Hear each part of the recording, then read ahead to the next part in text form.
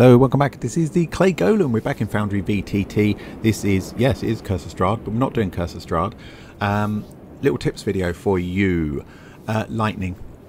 So we've got lots of things like FX Master and stuff that can help with weather and stuff like that. But what I particularly wanted for this scene was the ability to do a lightning strike um, as part of this. Not actually a bolt on there. So let me show you what I've got. You see I've got a button on here now. And when I click lightning, it does this. That, that's it. That's all it does. So we get kind of the flash of lightning and we also get that sound of thunder in the background, which was quite important. So I just wanted to really show you how I did it. Um, because there wasn't a I'm not aware of a module that is going to make that really easy for us, but to be honest, it's, it's straightforward. So first of all, obviously, Monk's Active Tile Trigger is what I'm using here. Um, and what that's doing is powering a light that I've got top right all the way over here that I've got just off of scene. So if I open this up, um, I've made this large so it covers the entire scene. Um, and uh, I've got it not constrained by walls. I don't have walls on this particular scene, but I don't want it constrained by walls anyway. And I changed the light colour to make it quite white. I mean, obviously you can change that to whatever works for you. If you want red lightning, blue lightning, whatever it might be. I just want this kind of white intense. And I put that colour intensity right the way up for this. Under the light animation, I selected torch. If I just turn this on, you'll see it does flicker a bit, which is good.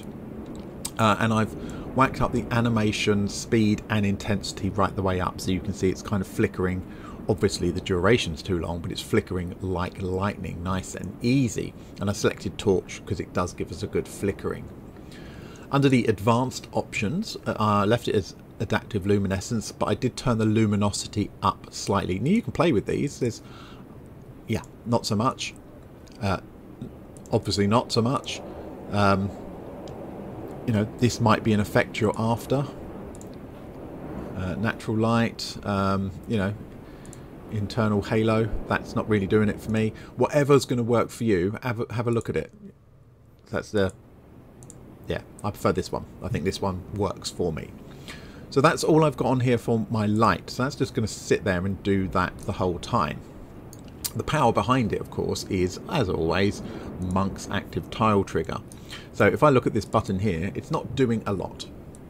All I've got for the setup for the active tile trigger is the GM clicks on it, like a lot of my buttons. Uh, I want it to activate. Now I have obviously used tagger because it's in this game, um, and all I'm doing is saying activate that light that's just off screen. You, you can obviously see it's still flashing wait for, now the actual instruction is delay actions. It says wait on here. If you go through the menu you're looking for wait, you won't find it. Delay actions by 0.2 seconds was about right. And then deactivate that light again. So it turns it on, turns it off. Um, and then I've got it to play a sound file of just thunder behind that. And of course I could adjust the volume if I wanted to. I've got this turned up uh, quite high. I want it to make the players jump slightly as it suddenly goes off. Uh, so that's all it is. Activate the light, wait a brief period of time, deactivate the light again and play that sound file. Now of course what you could do if you wanted that lightning to sound like it's coming from further away is you could put another delay in here before it plays the sound file you know um, you know up to even a couple of seconds um, you know, so like, yeah, the storm is a way off. It's not right here. Um, that's not what I've done. So uh, obviously my button is still active. If I click again, it will turn it off because it tried to turn the light on, but it was already on. So I end up with this effect. Really simple.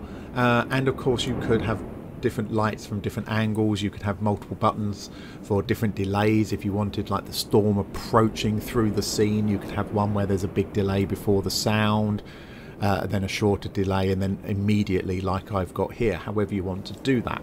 But it just creates a little bit of extra atmospherics um, for certain areas. So I am going to be using this um, several times, this technique, several times throughout this, but at very particular points. Um, I don't want to overuse it.